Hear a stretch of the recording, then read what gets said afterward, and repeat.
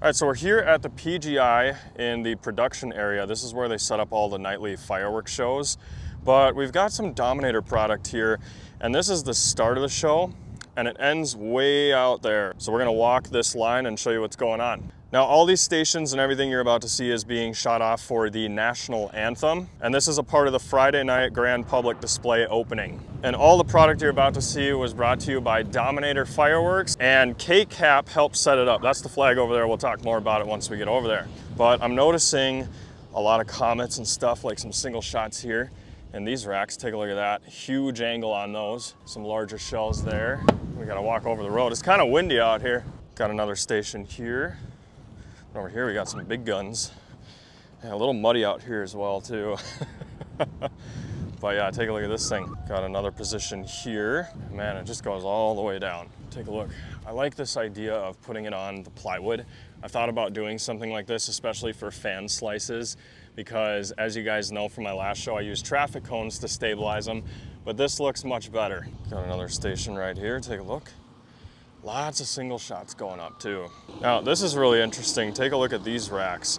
Um, so they have the K-Cap sticker there on them. That's the company I was talking about. Actually, my bad, that is a club. That is not a company, but shout out to those guys for putting together these racks, I think. And you're gonna get this crazy effect with the fan slices that way.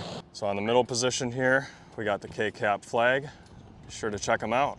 And of course, some more stuff. I'm not sure, I keep seeing these tubes here I don't know if they're using those to kind of load the shells or what, but they look like something you would fire rockets out of. I'm sure a lot of this is coordinated with the other positions, and so that's why they kind of look similar like this. You can see some of the same fan slices over here, some of the same single shots as well.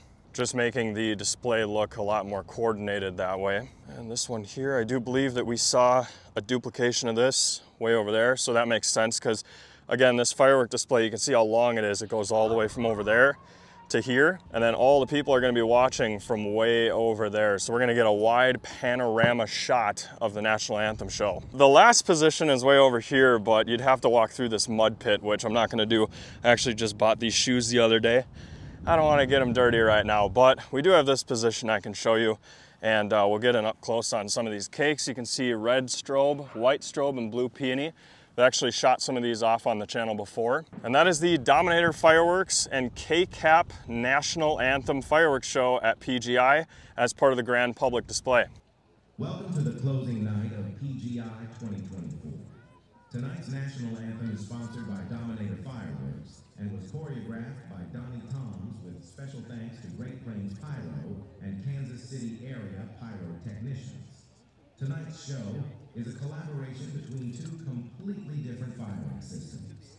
The show is being fired with a combination of Cobra firing systems and FireTEK. We would like to thank all of you for attending tonight. At this time, please rise and remove your hats for the national anthem.